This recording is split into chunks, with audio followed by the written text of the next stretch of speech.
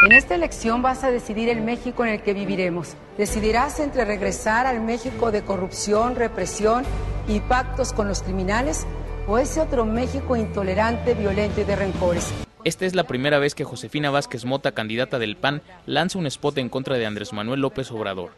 Con una duración de 30 segundos, el spot autorizado por las pautas del IFE llamó intolerante, violento y con muchos rencores al tabasqueño. O ese otro México intolerante, violento y de rencores. En este mismo comercial aparece la fotografía de Enrique Peña Nieto, candidato de la coalición Compromiso por México, a quien lo equiparó con los gobiernos de corrupción, represión y de negociar con el narcotráfico. Luego de exhibir a sus adversarios, la candidata panista invita a los ciudadanos a votar por ella, asegura ser la opción de estabilidad y seguridad que necesita el país. Elijamos el México estable y seguro. Construyámoslo juntos, hombres y mujeres, en igualdad. Soy tu opción de libertad y de futuro. Con tu voto, seré la primera mujer presidenta de México. Josefina. El Universal.